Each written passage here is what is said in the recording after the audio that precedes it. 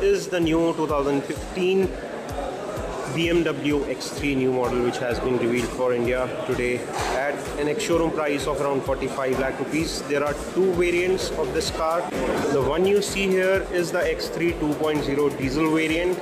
There are Expedition and X-Line editions which are the two variants. Both come with a 2 liter diesel engine from BMW. Under the hood of this beast you get a 190 bhp of power and around 400 newton meters of torque which is a lot for a car of this size. It comes with twin turbo technology and has a top speed of around 210 kilometers per hour. 8-speed automatic transmission and cruise control are standard over the new BMW X3. The new BMW X3 gets new front styling, you get new grille design as well as headlamps which look more sleek, stylish and more aggressive. It also gets electric sunroof the door trim has been nicely finished in wood finish, leather finish. This is the door side controls for the driver and it is very nicely finished. Has a lot of cubby holes and storage spaces.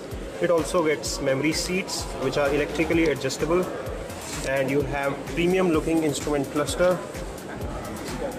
The fit and finish is top notch here. It also gets a digital display in the middle and there are two and they are very plush and comfortable. These sunroof controls are provided on the inside near the roof lamps which is here. The sunroof is right now open. It's electrically controlled. Fairly premium and feels very nice. Let me take you to the rear seat of the car which also feels fairly plush and premium. Has a lot of space for three passengers at the rear they can sit abreast and if there are two passengers there is a retractable armrest which comes with storage spaces and retractable cup holders which are provided in the middle.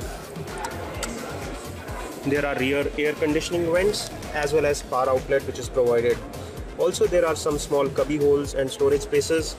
There are pockets behind the front seats and the leg room is very relaxed and ample here. There are reading lamps provided in the roof at the rear as well for the convenience of the rear passengers.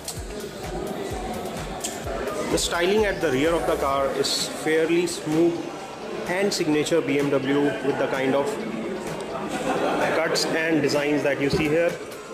The boot compartment is fairly large and can fit luggage for your adventurous weekend getaways.